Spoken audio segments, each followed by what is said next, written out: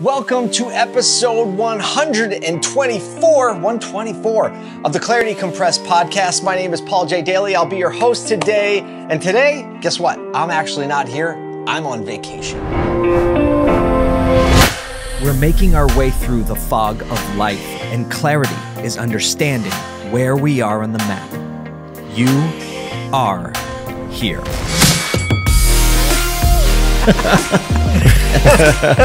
Let the good times roll. This is Clarity Compressed. So, um, every year, my family and I take a trip to Ocean City, New Jersey, one of the most beautiful beaches in the country. Yes, I know you're saying it's in New Jersey, how could it be beautiful? Actually, North Jersey and South Jersey are very, very different places. Um, they should be different states the same I have the same belief about downstate New York and upstate New York, very different places. They should be different states, but I'm not trying to get political. Ocean City, New Jersey is a place that I grew up going. I've still made it a point to bring my family there every year for a week of rest. And this year, it wasn't looking good actually. Uh, we just about did not make it because we scheduled, uh, we usually book the, book the place in January. And this year the pandemic hit and everything was closed and I had to cancel by April if I wanted to get my money back. So I canceled by April 15th, was incredibly devastated. And literally the day before we were going to leave, things started to look like they were going to open up. And we said, you know what, even if a lot of things are going to be closed, it's still worth it to go. Ocean City, it's a, it's just a place for me and for my family where you go and there's no pressure because you're very familiar with it. And we do the same thing every day. You wake up, you eat breakfast, you go to the beach, you lay around, get something to eat, you go back, walk on the boardwalk, repeat, repeat, repeat, repeat. And to me, that is the great part of any good vacation is the fact that you can relax. I can't do the type, I don't know if you're like me, but you know, people who want to go somewhere and do something new, um, I like that, but my mind goes into detail override, and I spend most of my time. I guess if I was going on vacation by myself, that'd probably be what I would do is do something new and go to a big city and do lots of stuff. But when it comes to a family, when you want to concentrate on your family, I can't concentrate on my family because I'm so busy concentrating on details if we go somewhere new. So uh, we go somewhere where I do the same thing every day and the family does the same thing and they get to experience uh, a side of dad that is a little less hyper and a little more relaxed. And you know, granted, we go for seven days, and it usually takes me three to four of those days before I actually feel relaxed. I wear flip flops every day. I don't wear as much black. I wear a lot of white t shirts. It's just a funny thing about my mental state. I wear white t shirts on vacation, I wear black t shirts when I work. All that to say, point of today's podcast is the fact that I'm not here.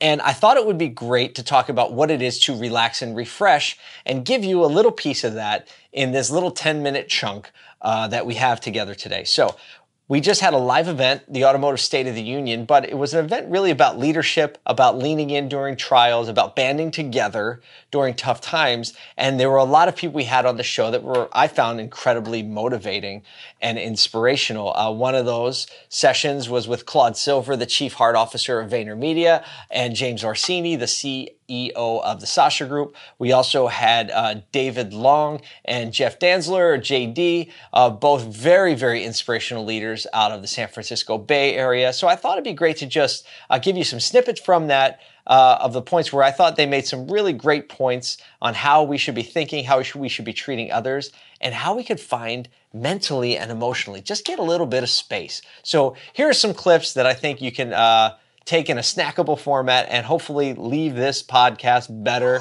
than it found you. One of the things that Gary says to us all the time, and it's it's a Garyism, is um, he is interested in wartime generals, and that's something that he has instilled with James and I um, since we both came on. Mm-hmm. It's peacetime is easy. Yeah, right.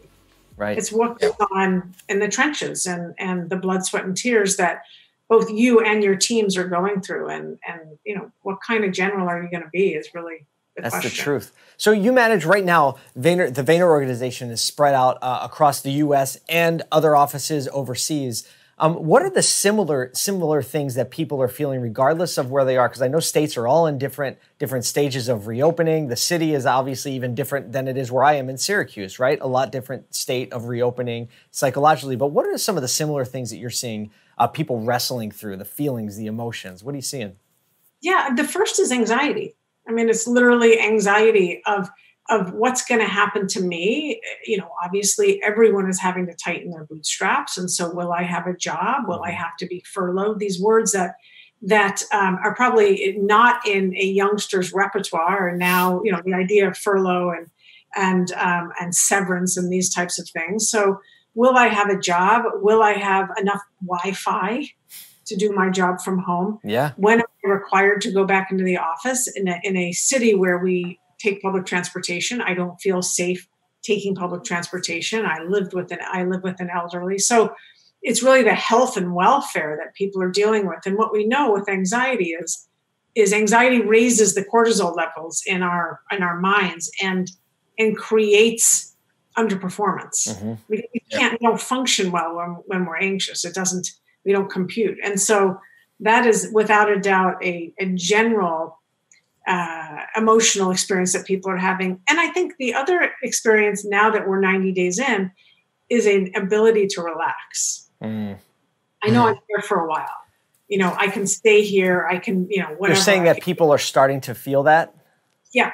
Oh, yeah. And I, I think that because we've been very transparent and, and pretty quick with our internal communications. Yep. Uh, certainly, we're not taking anything off the shelf because there is nothing off the shelf. We're creating it giving those people back to the peace of mind that I spoke about, even in advertising, yep. of you're here for a while now. And so, you know, get settled, yep. get used to this screen, make sure you take breaks from this screen. Yep. You know, again, your health is more important to us than anything else. So I get the good fortune of being able to talk to a lot of my people. I've shifted all my offices out into the showroom so I can be front and center. And what I've noticed the most, Paul and JD, is that it is unreasonable, irrational fear that our that my people seem to be falling into. Just a hundred forms of irrational fear of things that may never come to pass. But I think as a leader, really what my responsibility is, is to find a way to give people certainty, give people an environment where they feel safe, guide people in that what I call manufactured misery, right? Where they can grab something and turn it into a bigger issue than it really is and put that to bed through communication immediately. Don't let it get bigger than it is. What are some of the things? So you said people uh, making things bigger than they are. There, there, there's these irrational fears that are taking over and taking control of people's minds and their logic? What are some of the, the irrational fears that you're seeing kind of bubble to the top? So, what I've seen is there's a lot of anxiousness, a lot of anxiety, a lot of people that feel unsettled. So, things that would normally be uh, water under the bridge or water off a duck's back have a tendency to be a little more relevant right now. In other words, we're making mountains out of molehills mm-hmm. because we're full of this cortisol. Mm-hmm. And I think when our when our brains are full of cortisol, we don't make rational decisions. And to your coach's point last night, I think people are on overtime finding reasons to feel work, um, anxiety. Mm-hmm. And it's not hard. You look anywhere, Paul, it's easy to find. So I think the more we can do what the chief heart officer talked about, give people um, a safe place and uh, give people a uh, the feeling of safety just through presence, mm-hmm. the better off we'll all be. Leaving people better than we found them, I think, is how she said it. It is. It is. My mantra. So that's huge. I think it's important. There's a lot of value in having friends and having people in your life that speak positivity. These friends that uh, we just showed you, these clips, they're some of the people that do it for me. And I hope that they were able to do that for you. I hope that together we're able to encourage one another, find a little bit of reason to, to look a little more positively upon some of the situations that are incredibly challenging and incredibly difficult. And I, for one, want to be someone who sows positivity, encouragement, and hope into the world. I hope we did that today. I hope you have an amazing week. I hope you find somewhere to refresh and restore and renew yourself. And I hope to see you very, very soon Till then, pursue clarity. Yeah.